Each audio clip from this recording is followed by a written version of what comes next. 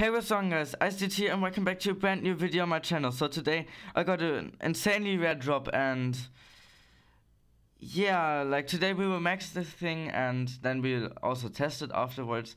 So yeah, I hope you guys enjoy. So yeah, without further ado, let's roll the clip.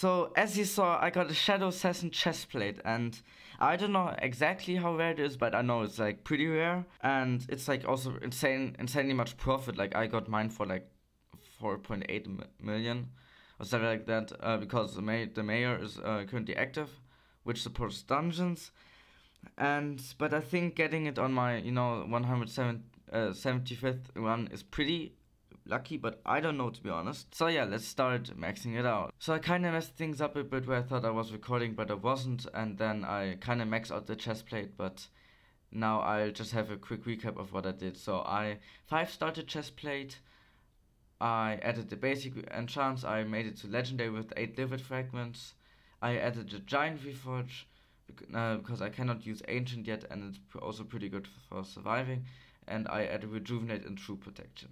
So now I will hot potato book the chest plate.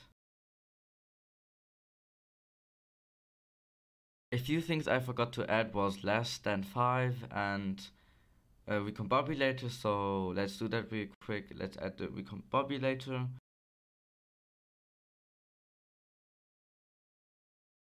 And now let's splash Titanic and add less than. So yeah, now we're ready to test it. Who needs this if you can have this.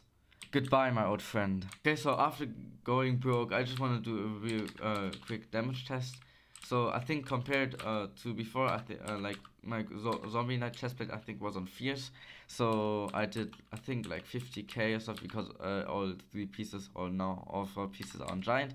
So let's test this. Okay, so I think I'm doing like around 15k more. What that's what I would guess, and yeah, from I don't know how this was a back hit, but it was a 136k, and here yeah, it's 150k. So overall, it's a good increase, and in dungeons it will be even better because I have the full set bonus now. So yeah, with that being said, let's hop into the dungeons. Okay, so I just hopped into a floor 5 dungeon about like 4 minutes ago and just my effective health and stuff like that is just way higher than it used to be before because I also have the full set with a few kills right now, for example, I get like 60 extra strength now, which is like 30 extra defense right now. Get the damage is also higher. That's also really nice, I guess.